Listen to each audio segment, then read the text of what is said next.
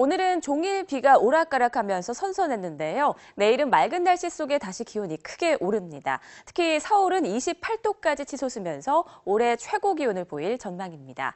대부분 지역은 오늘 밤중에 비가 그치겠지만 남해안은 내일 아침까지, 제주도는 내일 낮까지 비가 조금 더 길게 이어지겠습니다.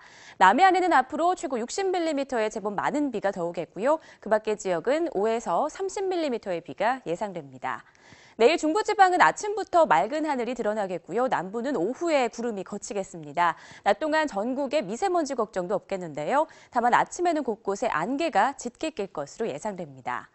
내일 아침 기온은 오늘보다 1, 2도 정도 낮겠습니다. 서울 15도, 전주 14도, 대구 13도로 예상됩니다.